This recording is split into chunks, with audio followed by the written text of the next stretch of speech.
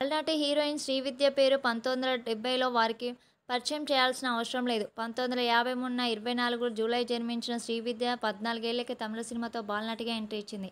ఆ తర్వాత పలువురు స్టార్ హీరోలతో నటించింది. బాలనటిగా సినీ రంగ ప్రవేశం చేసిన తర్వాత మలయాళంలో తొలి అవకాశం వచ్చింది.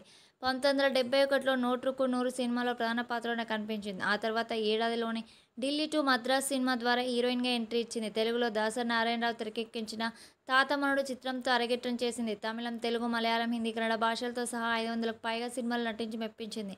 అప్పట్లో హీరోయిన్లో అత్యధిక పారితోషికం తీసుకున్న హీరోయిన్గా నిలిచింది.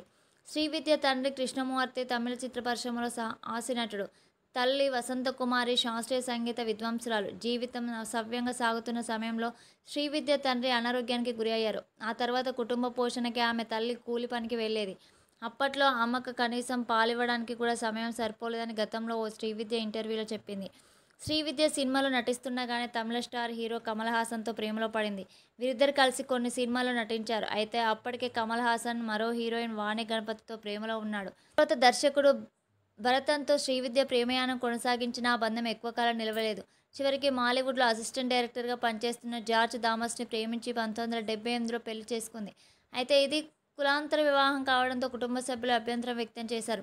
పెళ్ళైన తర్వాత క్రైస్తవ మతాన్ని అనుసరించాలని భర్త జార్జ్ షరతు పెట్టాడు. దీంతో శ్రీవిద్య పెళ్ళికి ముందే బాష్పుజం పూర్తి చేసింది. పెళ్ళి తర్వాత కూడా భర్త బలవంతం వల్లే మళ్ళీ నటనలో అడుగుపెట్టింది.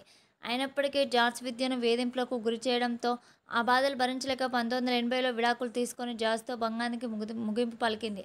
విడాకుల తర్వాత శ్రీవిద్య నటనలో కొనసాగింది. అయితే విడాకుల తర్వాత కూడా శ్రీవిద్యను జార్జ్ వదలలేదు. ఆమె ఆస్తులన్నీ తనకు తిరిగి ఇవ్వాలని కోర్టును ఆశ్రయించాడు. చివరకు సుప్రీంకోర్టులో శ్రీవిద్య విజయం సాధించింది. ఆ తర్వాత శ్రీవిద్య చెన్నై వదిలి కేరళను తిరువనంతపురంలో స్థిరపడింది.